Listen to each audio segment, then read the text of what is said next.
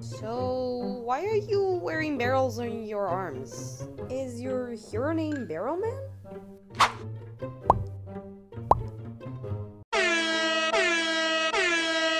Barrel.